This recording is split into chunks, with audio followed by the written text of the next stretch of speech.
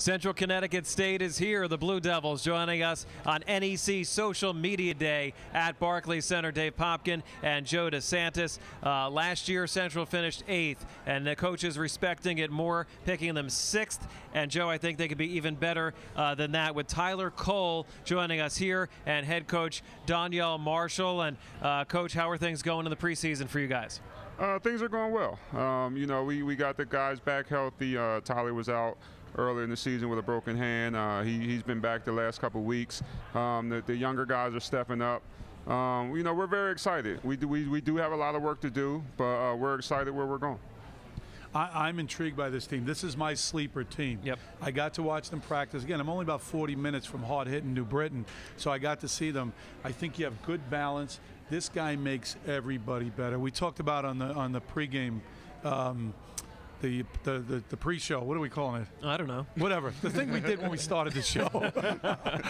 um, good players make themselves better. Great players make others better. And when you lead the team in points, rebounds, steals, and assists, I think this guy is a terrific player. How did you develop such a, a unique quality, a unique quality of, of uh, team basketball?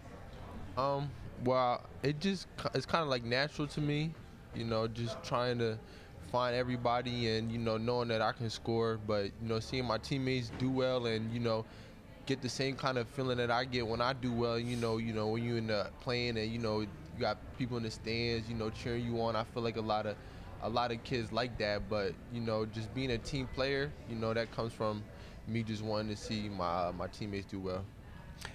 How much attention uh, does Coach get because of the success he had as a player? Such a long NBA career, uh, a great college player, all Big East player. Yeah. Uh, wh- when he says something, it means more.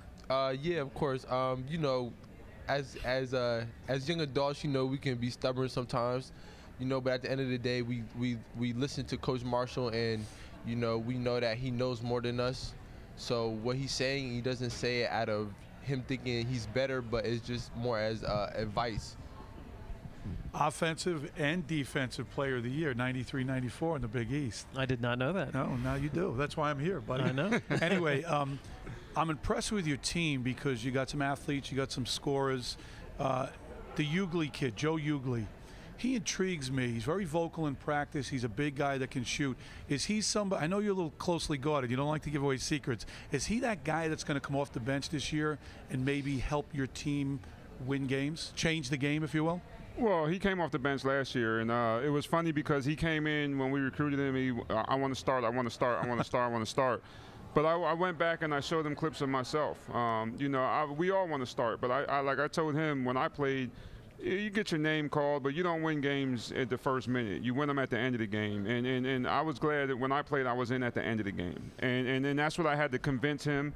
Um, so he, he was he was great coming off the bench, and he was one of our top scorers. He was a game changer, and that's the way he's going to be this year. Um, he, he's going to do so many things. Um, you know, people look at him as a stretch four but he's gotten in a lot better shape this year. You're going to see him running the floor, um, you know, and he, has been posting up very good rebounder. But the vocal part, as you say, um, that's something he worked on. Um, you know, he, he he struggled with that at first, but um, he just he wants to win. He wants to win, and and then, you know he he. He, he told me the other day he saw a, a, a tweet where I, I, can't remember word for word, but whether it's just like freshmen want to want to score, you know, um, sophomores want to want to play, juniors want to start, seniors want to win.